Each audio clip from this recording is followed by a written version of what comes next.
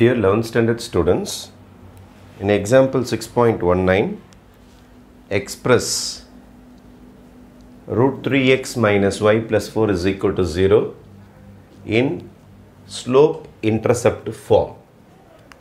Subdivision 1 slope intercept form அப்படின்னா இந்த ஸ்டைலில் இருக்கணும் y is equal to mx plus cன்னு சொல்லுவாங்க அல்லது y is equal to mx plus b இந்த ஸ்டைலில் வந்துடுச்சுன்னா அதான் ஸ்லோப் இன்டர்செப்ட் ஃபார்ம் வேறு ஒன்றுமே கிடையாது. அந்த ஈக்குவேஷனை கொண்டு வாங்க.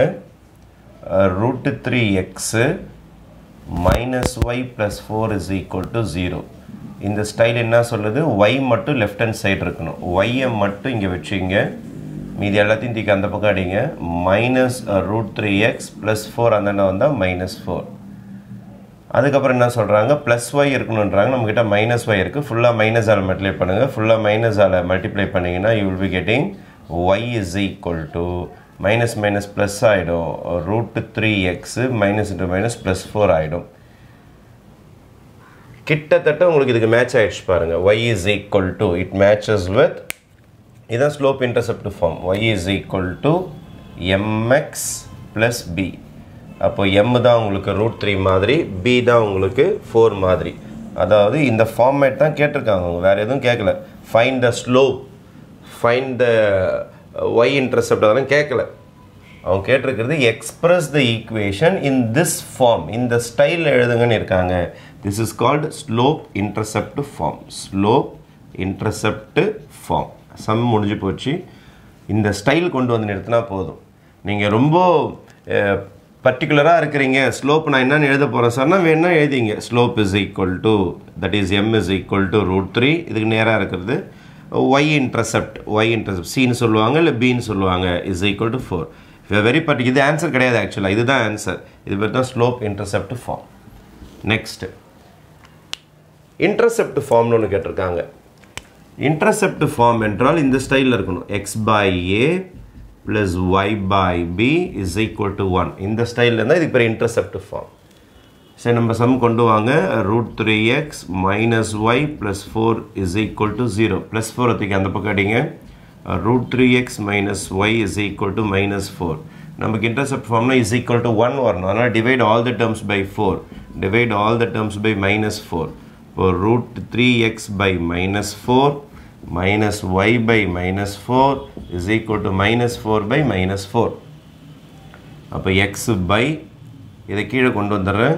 Minus four by root three minus minus உங்களுக்கு கேன்சல் ஆகிடும் plus y by four is equal to one is equal to one அப்போது இந்த ரூட் த்ரீ கீழே கொண்டு வந்தாச்சு. அப்போ x by a plus y by b is equal to one இந்த style வந்துச்சு பாருங்கள் x by a plus y by b is equal to one இதுக்கு பேர் தான் எக்ஸ் இன்டர்செப்ட் இதுக்கு பேர் தான் ஒய் இன்டர்செப்ட் இன்டர்செப்ட் ஃபார்ம் கொண்டு வந்தாச்சு. இந்த ஃபார்முக்கு பேர் தான் intercept form intercept form if very particular sir நான் எக்ஸ் இன்டர்செப்ட்னா என்னன்னு சொல்ல போகிறேன் ஒய் இன்டர்செப்ட்னா என்னன்னு சொல்ல போகிறேன் நீங்கள் வேணால் எழுதிக்கலாம். But this is not the answer this is the answer இதான் ஆன்சர் முடிஞ்சிடுச்சு. இப்போ எக்ஸ் இன்டர்செப்ட் அப்படின்னா a is equal to minus four by root three y இன்டர்செப்ட்னா b is equal to b is equal to four அப்படின்னு சொல்லிட்டு நீங்கள் தனியாக வேணால் எழுதிக்கலாமே தவிர இதான் இன்டர்செப்ட் ஃபார்ம் ஃபைனலாக நார்மல் ஃபார்ம் கேட்டிருக்காங்க. நார்மல் ஃபார்ம் தேர்ட் ஸ்டெப் வரேன் நான் நார்மல் ஃபார்ம் நார்மல் ஃபார்ம் அப்படின்னா எந்த ஸ்டைலில் இருக்கணும்? Normal ஃபார்ம்னா x cos alpha plus y sin alpha is equal to p இந்த ஸ்டைலில் வந்தால் தான் it is called normal form சரி நம்மளோட ஈக்குவேஷனை கொஞ்சம் கொஞ்சமாக மாற்றுவோம் நம்ம. Uh, root 3x minus y plus 4 is equal to 0 plus 4 is equal to 0 நம்மளுக்கு x cos alpha y sin alpha is equal to அப்படின்னு சொல்லிட்டு இருக்கணும். நான் என்ன செய்ய போகிறேன்னா எக்ஸோடைய கோஎஃபிஷியன்ட் எக்ஸோடைய கோஎஃபிஷியன்ட் ஒய்யோடைய கோஎஃபிஷியன்ட் இது ரெண்டுத்தையும் ஸ்கொயர் பண்ணி ஆட் பண்ணி அந்த டேர்மால் எல்லாத்தையுமே டிவைட் பண்ண போகிறேன் அந்த டேர்மால் ஃபுல்லாக டிவைட் பண்ண போகிறேன் அப்போ பாருங்கள் I am going to just find square root of எக்ஸோடைய coefficient square ஒய்யோடைய கோஎஃபிஷியன் ஸ்கொயர் ஒய்யோடைய கோஎஃபிஷியன் ஸ்கொயர் எக்ஸோடைய கோஎஃபிஷியன் ஸ்கொயர் ஒய்யோடைய கோஎஃபிஷியன் ஸ்கொயர் அதால் I am going to divide all terms.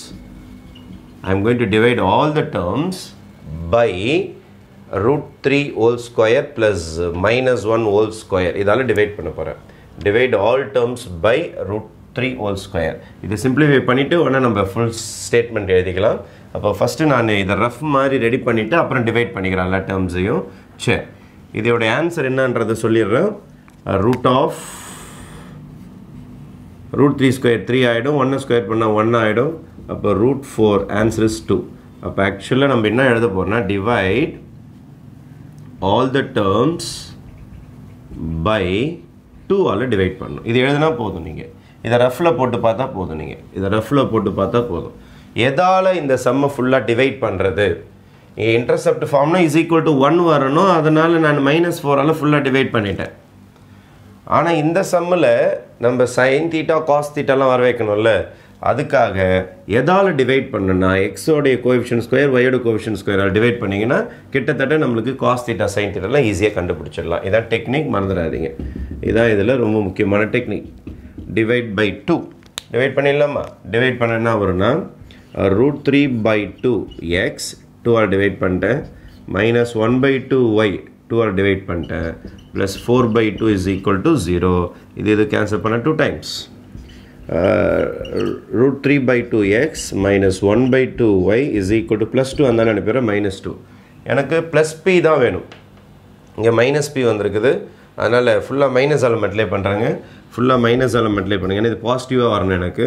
ஃபுல்லாக மைனஸ் எலமெண்ட்லே பண்ணால் minus root three by two x plus one by two y is equal to plus டூவாக மாறிடும். இப்போ கிட்டத்தட்ட நம்ம P உடைய வேல்யூ கண்டுபிடிச்சிட்டோம். ஒன்று நீங்கள் என்னென்ன ரெடி பண்ணணும்னா காஸ் ஆல்ஃபா ரெடி பண்ணி ஆகணும் சைன் ஆல்ஃபா ரெடி பண்ணி ஆகணும் காஸ் ஆல்ஃபா சைன் ஆல்ஃபா அப்போ இதுதான் ஆக்சுவலாக காஸ் ஆல்ஃபா இதான் காஸ் ஆல்ஃபா இதான் உங்களுடைய சைன் ஆல்ஃபா அப்போ இதை கண்டுபிடிச்சிட்டிங்கன்னா சம் ஓவர் ஆகிடும் what is cos alpha what is sin alpha சரி. இப்போ நான் என்ன செய்ய போகிறேன்னா இங்கே ஒரு ரஃப் ஒன்று போட்டு காட்டுறேன் பாருங்கள் cos root three by two வந்திருக்குது. ரூட் த்ரீ பை டூ அப்படின்னா உங்களுக்கு தேர்ட்டி டிகிரிஸில் தான் ரூட் த்ரீ பை டூ வரும். ஆனால் இங்கே எதில் வந்துருக்குது? மைனஸில் வந்திருக்குது. மைனஸில் வந்திருக்குது. இப்போ மைனஸில் வந்திருக்கிறதுனால காஸ் தேர்ட்டி போட்டால் வெறும் ரூட் த்ரீ பை டூ தான் வரும். எது வராதுன்னா மைனஸில் வராது. சரி அதுக்கு அடுத்து ட்ரை பண்ண போகிறேன் காஸ் காஸ் அதுக்கு அடுத்து ட்ரை நான் ஒரு ஒன் டுவெண்ட்டி ட்ரை பண்ணுறேன் ஒன் டுவெண்ட்டி ட்ரை பண்ணால் என்ன ஆன்சர் வருதுன்னு பார்க்கலாம். One twenty cos one twenty போட்டிங்கன்னா இது எப்படி எழுதலாம்னா cos one into ninety plus தேர்ட்டின்னு எழுதலாம். காஸ் தேர்ட்டி ட்ரை பண்ணேன். நெகட்டிவில் வரல. காஸ் ஒன் டுவெண்ட்டி ட்ரை பண்ணுறேன் காஸ் ஒன் டுவெண்ட்டி ட்ரை பண்ணால் cos odd multiples of ninety odd multiples of ninety odd multiples of ninety வந்ததுன்னா உங்களுக்கு சைனாக மாறிடும். இது ஆட் நம்பராக வந்தால் இங்கே சேஞ்ச் வந்துடும் சேஞ்ச் ட்ரிக்னாமெண்ட்டில் படிச்சிருக்கோம் நம்ம. அதனால் ஆட் மல்டிபிள்ஸ் ஆஃப் நைன்ட்டி வந்தால் சேஞ்ச் வந்துடும் அதனால் சைன் ஆகிடும் சைன் தேர்ட்டி ஆகிடும் எந்த குவாட்ரண்ட் பார்த்தீங்கன்னா இது second quadrant one into ninety plus தேர்ட்டினா second quadrant அப்போ மைனஸ் வரும். மைனஸ் வரும். ஆனால் மைனஸ் சைன் தேர்ட்டி வந்துடும் மைனஸ் சைன் தேர்ட்டினா ஒன் பை டூ ஆகிடும் ரூட் த்ரீ பை டூ வராது. மைனஸ் வரும் ஆனால் நம்பர் வராது. அப்போது ஒன் டுவெண்ட்டியும் செட் ஆகலை. இது வெறும் தேர்ட்டி இது நைன்ட்டி ப்ளஸ் தேர்ட்டி ட்ரை பண்ணேன். அதுக்கப்புறம் one eighty minus thirty try பண்ணி பார்ப்போம். காஸ் ஒன் ஃபிஃப்டி ட்ரை பண்ணி பார்ப்போம். காஸ் ஒன் ஃபிஃப்டி டிகிரி நான் ட்ரை பண்ணுறேன் cos one fifty degree cos one fifty degree எப்படி அதெல்லாம் பாருங்கள் cos two into ninety minus thirty இது ரெண்டும் வேலைக்கு ஆகலை. அதனால் அடுத்த ஸ்டெப்புக்கு போகிறேன் காஸ் ஒன் ஃபிஃப்டி ட்ரை பண்ணி பார்க்குறேன். Cos two into ninety minus thirty one fifty தானே? Even multiples of ninety even multiples of ninety வந்துடுச்சுன்னா ஈவன் மல்டிபிள்ஸ் ஆஃப் நைன்ட்டி வந்தால் காஸ் காசாக தான் இருக்கும். தேர்ட்டி அப்படியே வந்துடும் குவாட்ரன் பார்க்கணும். இது எந்த quadrant zero into ninety one into ninety two into நைன்ட்டினா இந்த லைன் மைனஸ் தேர்ட்டினா இந்த இடம். இது யாரோட வீடு? ஆல் ஸ்டூடெண்ட்ஸ் டேக் சென்டம் சைனோட வீடு. வந்திருக்கணும் காஸ் அப்போ மைனஸ் வரும். காஸ் தேர்ட்டி எவ்வளோ root three by two minus வந்துருச்சு பார்த்தீங்களா? அப்போ ஒன் ஃபிஃப்டி டிகிரி தான் இதுக்கு செட் ஆகும். அப்போ ஒன்று கண்டுபிடிச்சிட்டோம் நம்ம இதில். எக்ஸ் அப்படியே இருக்கட்டும். எக்ஸ் அப்படியே இருக்கட்டும். Minus root three by two எதில் வருதுன்னா காஸ் ஒன் ஃபிஃப்டி டிகிரியில் வந்து போச்சு. Cos one fifty degree plus plus plus y அதே டிகிரி தான் இங்கேயே வரணும்.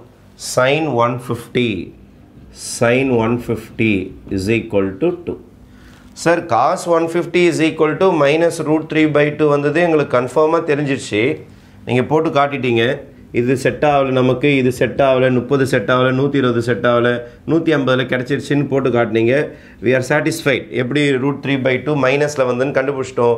ஏன்னா குவாட்ரண்ட் மாறி வரதுனால நெகட்டிவ் சிம்பிள் வந்தது. ஓகே சார் ஆனால் ஒன் பை டூக்கு சைன் ஒன் ஃபிஃப்டி வரும்னு நீங்கள் சொல்லியிருக்கீங்களே அது நாங்கள் எப்படி சார் கண்டுபிடிக்கிறது? அப்படின்னா அதுக்கும் டெக்னிக் இருக்குது. ஒரு வாட்டி நம்ம போட்டு பார்த்துடலாமா? சைன் ஒன் ஃபிஃப்டி இங்கே ரஃபில் போட்டு காட்டுறேன் பாருங்கள் சைன் ஒன் ஃபிஃப்டி நான் ரஃபில் போட்டு காட்டுறேன். Sine one fifty can be written as sin 2 into 90 minus 30 sin 2 into 90 minus 30 even multiples of 90 even multiples of 90 வந்தால் சைன் சேஞ்ச் ஆகாது சைன் அப்படியே தான் இருக்கும். யாரை கூட்டுன்னு போயிடும்? தேர்ட்டியை கூட்டுன்னு போயிடும். இது எந்த quadrant two into ninety minus thirty second quadrant அப்போ பாசிட்டிவ் தானே வரும்? What is sine thirty sine thirty is one by two வந்துருச்சா? அப்போ சைன் ஒன் ஃபிஃப்டி போட்டாலும் ஒன் பை டூ தான் வரும். கன்ஃபார்ம் பண்ணிட்டீங்களா?